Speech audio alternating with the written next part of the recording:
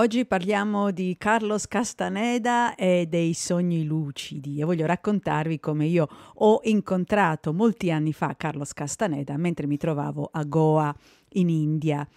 Era una situazione molto particolare, nel senso che avevo un sacco di tempo libero perché appunto stavo trascorrendo un lungo, lungo, lungo periodo, diversi mesi eh, a Goa. Siamo all'inizio degli anni 90, forse proprio 1990, fine del, del 1990, e ehm, sto trascorrendo appunto una lunghissima vacanza in Asia e all'interno di questa vacanza ho trascorso circa sei mesi a Goa.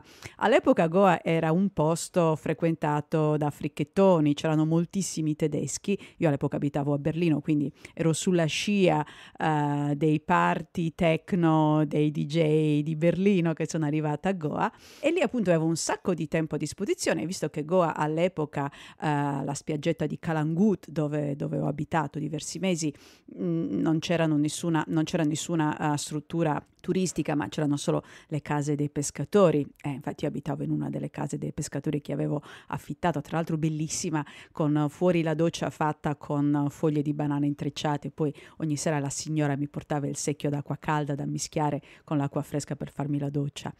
E, e come dicevo, lì era pieno di gente che non faceva niente, pieno di fancazzisti, me inclusa. Oltre che giocare a racchettoni sulla lunghissima spiaggia di Kalangut, non c'era molto altro da fare. Poi ogni tanto si prendeva la bici si andava all'ufficio postale a vedere se erano arrivate lettere alla posta restante. Ecco, qui c'era anche un posto dove si potevano prendere in prestito dei libri lasciati dai viaggiatori e così incontrai Carlos Castaneda e gli insegnamenti di Don Juan.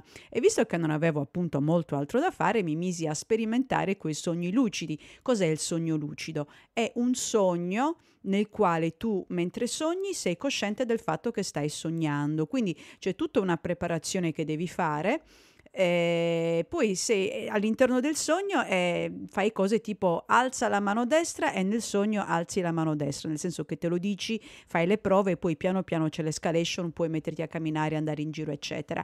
Io ho fatto sì, diversi esperimenti e devo dire che mi ricordo di essere riuscita a sollevare una mano, non mi ricordo se destra o sinistra nel sogno.